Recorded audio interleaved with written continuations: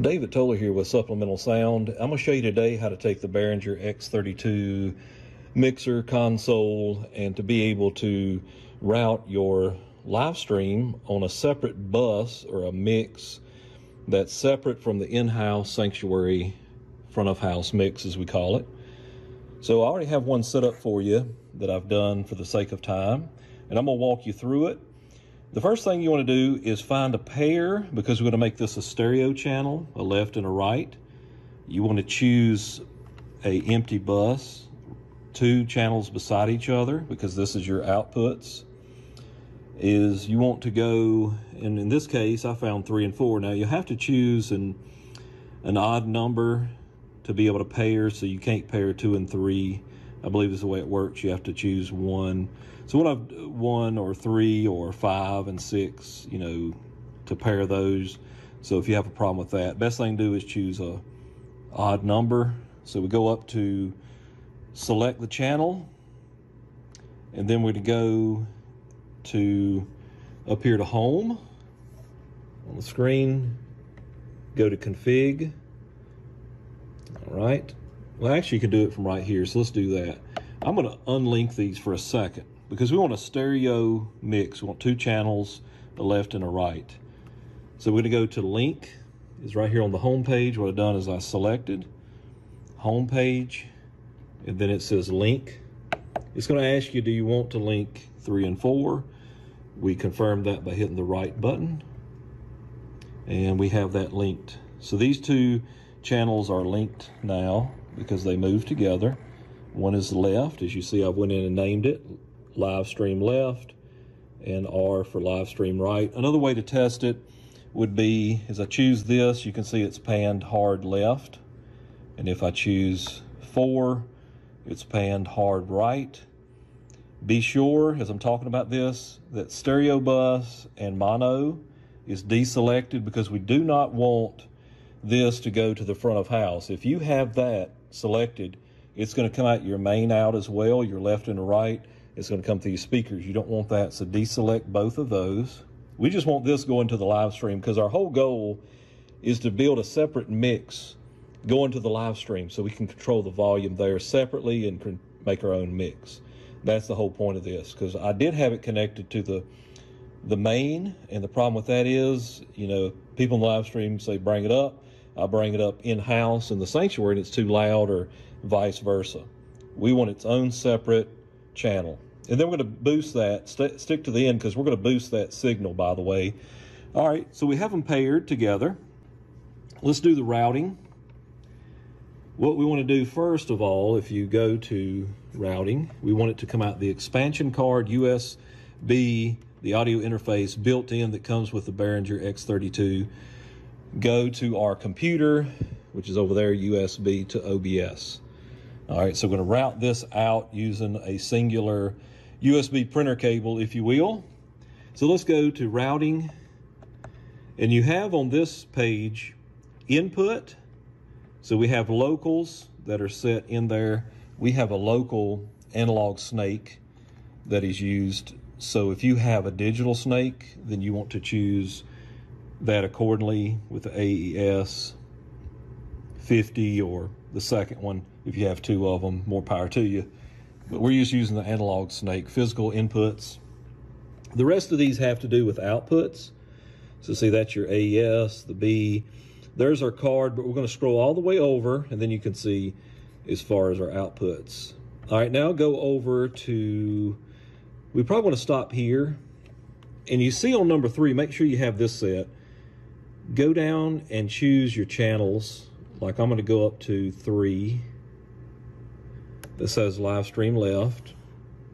And what we want that to be is, it says mix bus, that's good. And in three, then come down and make sure you have pre-fader. Now I'm still fooling around with this. You might let me know in the comments.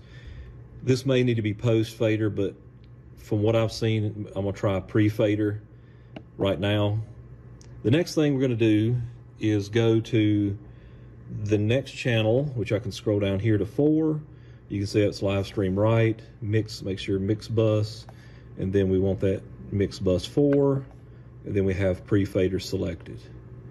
Next, we're going to go over all the way over to user. Now this is where we're going to get this routed out.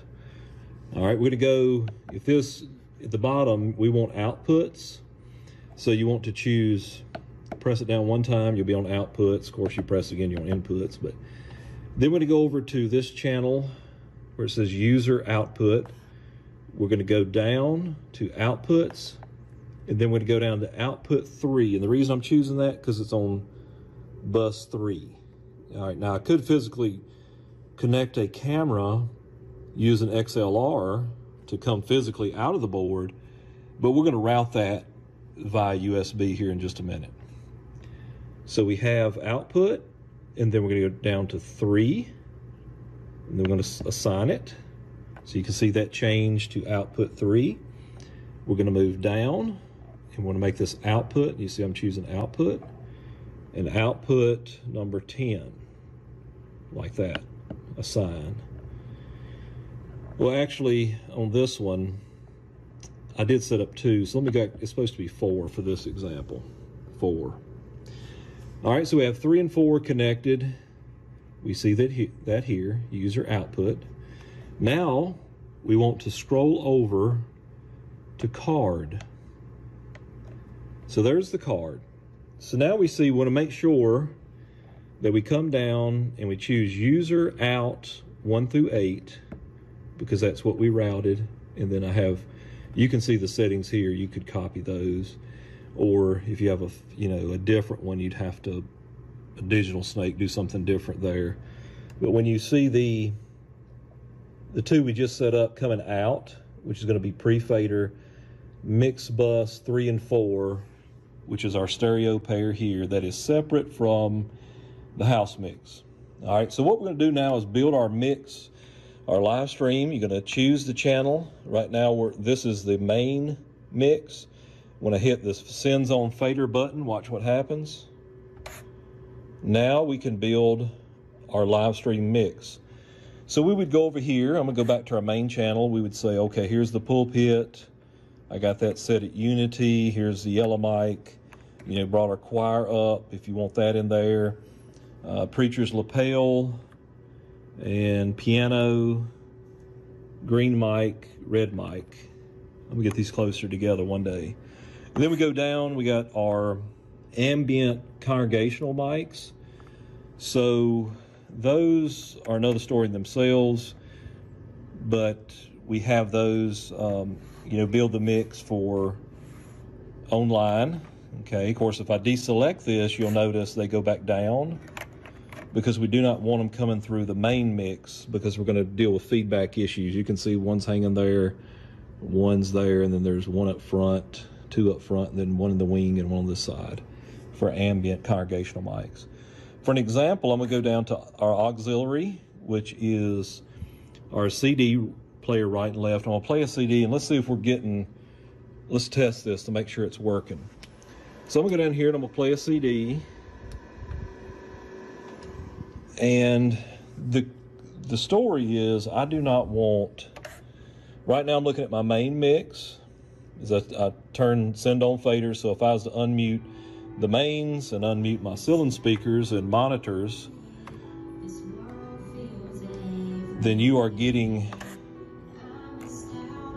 the front of house mix. All right, so that's a store in itself. So let's mute those, they're still speakers and the monitors. Now let's go to our mix, which is our live stream. You can see we're getting a good signal here, a good strong signal. One of the things I would encourage you is make sure you have proper gain structure. If not, you're not going to be able to pull enough volume over here. I've had a lot of problem with that. In fact, I've learned more. I'm going to have to start at the top, work on every channel and get them gained up. Because on the Behringer, you want it touching, that's negative 18. That's a good gain structure for this CD. You can see good numbers here. All right. And we can see that as we are all on the live stream mix, we're getting a good signal. And then if we take that away because it is post fader, this is anyway, and we're getting a good strong signal here. Now let's go over to OBS. on the computer. And you can see we're getting a good strong level. Now I'm gonna show you how to up that level a little bit. We're peaking, I did have to add a little gain here on OBS, which is, I put a gain filter on it and maybe I boosted it slightly. Well, actually it's not even activated. It's deselected. So uh, I could add a little in OBS if I wanted to, but we'll take care of that later. Let me show you how, because one of the problems is getting a good strong volume. We're gonna set an effects rack up. So go to, this is how you're gonna boost that live stream volume. Effects, and then we're gonna go to home. Now what I've done for this particular example is I have inserted a limiter and you can see on the left-hand side is the signal before it goes through the limiter, and then you can see the boosted signal after the limiter. So to be able to do that, we'll just start over. For I'll mute that, take it off. And let's go ahead, when you're choosing, you want to go down uh, first, you want to choose the proper effects rack that's empty. So let's go to five, choose that which with the limiters in there, but I'm now you need to go to type and just keep scrolling through, and you can do this on the iPad as well, which is probably easier, until you get to limiter. And it says LIM here for limiter, and it says here precision limiter. What a word. All right, we are going to add this. So in order to do that, you want to go up, you can see I've got buses three and four, and the way I've done that is you can change it here. All right.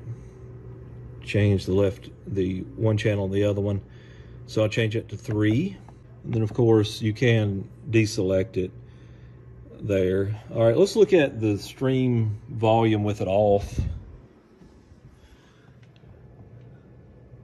Okay, it's hitting about mm, negative uh, 12, that's pretty good. Negative 12 dB. All right, let's insert the limiter. And then we want to go to edit. You want to change your, make sure stereo link is engaged. And then I've set the output volume to 12. The output gain at negative one the squeeze at 20%, knee is at three, attack, let's bring it down and see what happens. Okay. Actually, I can see it, you know, limiting there. So that's something I'll probably have to play with is the release and the attack time by turning maybe those down. I'm not an expert on those. I will link two videos in the description that'll help you further. And then you want to go, all right, we've got that working. And we go back to home. Of course, we've got it inserted in the channel. So insert, this will be added. And what I wanted to show you was, is the input gain and then the output gain, which is, you know, you may know more about this. If you can, help all of us by adding some more. I do see it reducing some here. So I think there is something to the attack and release time that could really change this. So I have it going through channels three and four, and you can see the increase. And hopefully that reflects over here which is still showing it's hitting about negative, uh, still about negative 12 dB, which is good. So there may be a way, it says output gain. We may play around with that a little bit. Or either input gain into it. Let's just turn it all the way up. Wow, that really is. So let's go back to negative one. Okay, now we're getting some more lines. And over here, probably about, eh, it might be coming up to almost negative 10 almost. So I'm still learning about the effects racks, but that'll get you where you need to go. I think there's going to be something about this release, attack and release time. Again, I'm building my mix. You can see I'm getting good strong signals that are in the negative 18 dB, which is great. And notice it's not coming through the house.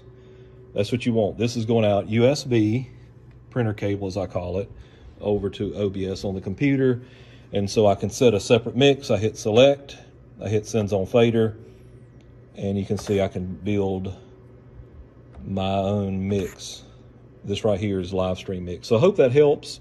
Let me know if you can help us all in the comments or something you can add or to help one another in this. And in the meantime, this is David Told with Supplemental Seminary. We'll see you in the next video.